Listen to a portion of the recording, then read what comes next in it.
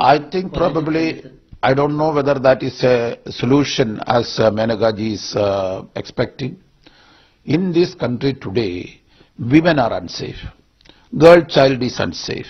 And by identifying or uh, the um, uh, sex, uh, sex determination, if it is done and that information is um, registered, whether the uh, female feticide can be stopped, this is her, uh, you know, idea or imagination. Whether it will be counterproductive, whether it will be, have positive effect is something to be seen.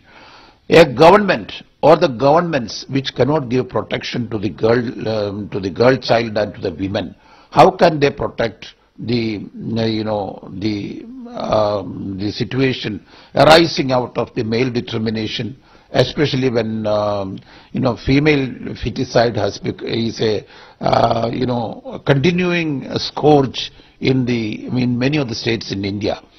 In such a situation, sex determination and making it known to the mother and to the family members may lead to even bigger problems also. I don't know whether the minister has made this statement in a conference, whether, whether it's a well thought out formula, I am not very sure.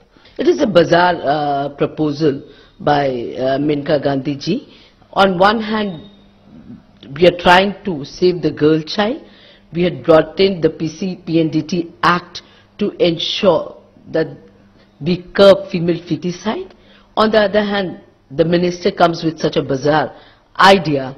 In fact, if this happens, a mother will have to undergo misconduct from her own family and pressure from her own family to abort the girl child from the very day one. And this will adversely affect our endeavor to save the girl child. In fact, instead of this, we should bring in more awareness wherein we ensure that we somewhere fight this, this blot of female